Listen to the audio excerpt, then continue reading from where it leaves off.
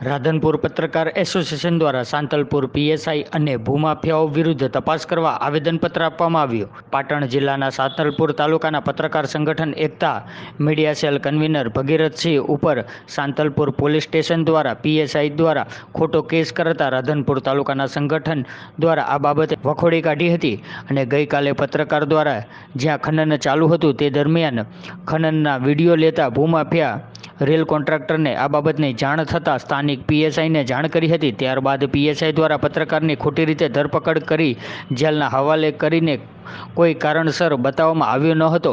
અને આ બાબતની જાણ રાધનપુર પત્રકાર એસોસિએશનને થતાં નાયબ પોલીસ અધિક્ષક શ્રી અને નાયબ કલેક્ટર શ્રીને રાધનપુર ને તાલુકા સંગઠન અને જાગૃત નાગરિકો સાથે મળીને આવેદનપત્ર આપવામાં આવ્યું.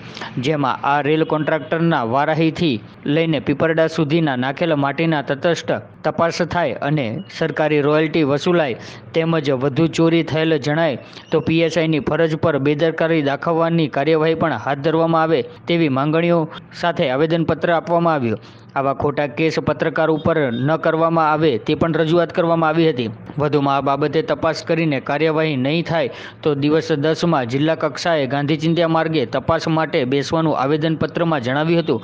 ત્યારે આ બાબતે કેવા પ્રકારના પગલાં ભરાય છે તે આવનારો સમય બતાવશે. પત્રકાર એટલે દેશની ચોથી જાગીર છે. સરકારના પ્રશ્નો હોય કે પ્રજાના પ્રશ્નો હોય.